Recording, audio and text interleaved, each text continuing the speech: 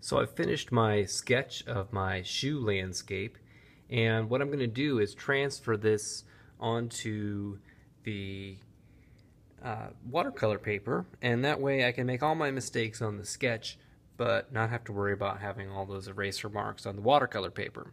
So on one side of my paper I have taken the side of my pencil and covered it with uh, graphite. And then I tape it onto my watercolor paper.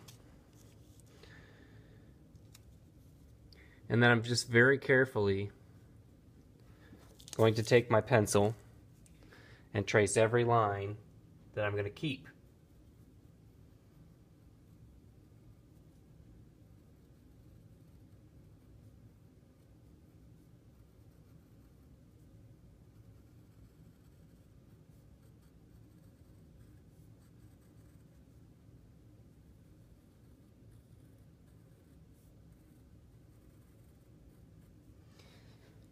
So every once in a while, you don't want to do this too often because it can throw off how everything's lined up, but you can lift this up and you can see that things are being transferred onto the paper below.